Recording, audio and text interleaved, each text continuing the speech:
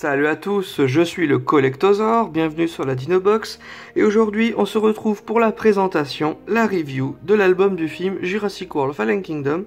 Donc je vous ai montré dans une autre vidéo le guide de survie, je vous expliquerai à la fin, pour ceux qui ne savent pas, la différence entre le guide et l'album. Vous verrez un petit peu qu'il y a une sacrée différence. Donc aujourd'hui, on est parti pour détailler l'album du film. Donc l'album du film coûte euh, moins cher que le guide. Il coûte 9 euh, euros, 8,99. Alors l'album du film, c'est euh, spoiler garanti, puisque ça vous explique, ça vous raconte le film en fait.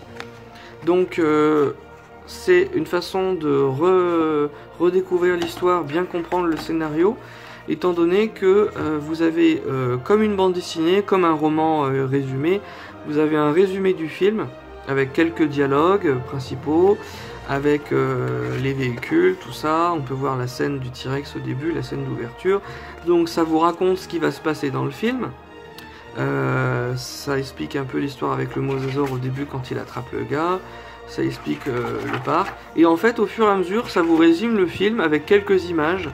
Voilà, vous avez les personnages, euh, ça vous explique un peu la scène quand il va avoir euh, au manoir, tout ça, le coude, la petite fille, les petits dialogues. Ça explique un petit peu ce qui va se passer pour récupérer Blue. Ensuite, elle va aller voir donc fameux Owen, elle va essayer de le recruter. pendant ce temps, ils font, ils font le trajet, ils se posent, voilà. Ça résume en fait rapidement rapidement l'histoire, tout ça. Donc euh, il y a des super belles illustrations, franchement. Donc euh, c'est vite lu. Donc euh, moi je voulais me prendre le roman, mais je me suis dit le roman c'est trop long, j'aurais jamais le temps de le lire. Je vais, il n'y a pas a pas trop d'illustrations dedans, quelques-unes, mais voilà. Donc je me suis dit je préfère prendre ça. Je suis sûr de le lire. Il est super beau. Mes enfants le liront aussi. Donc voilà, ça résume l'histoire. Donc spoiler, on voit qu'il y a le coup de la boule sous l'eau, les camions, ils récupèrent les dinos, tout ça. Euh, le, coup du T-Rex. Euh, Donc des super belles images, quelques dialogues, le résumé de, l'histoire euh, dans l'ordre chronologique, la vente aux enchères, le stigimologue, tout ça, ça explique un petit peu toute cette histoire. Voilà. Et donc ça se lit comme un petit roman, un petit roman de gare, hein, parce qu'il y a pas mal de textes, très rapides à lire. Et enfin, voilà. Donc super rapide à lire. Il fait il fait combien de pages Alors, je sais pas s'il y a les pages. Il fait 64 pages. Voilà. Il fait 64 pages. Donc, euh, moi, je dis les points positifs, c'est que pour ceux qui aiment pas lire, il y a peu de lecture, suffisamment pour comprendre l'histoire. Ensuite, point positif, de super belles illustrations. Et ensuite, on a le film. En fait, on a le film euh, version, euh, version album.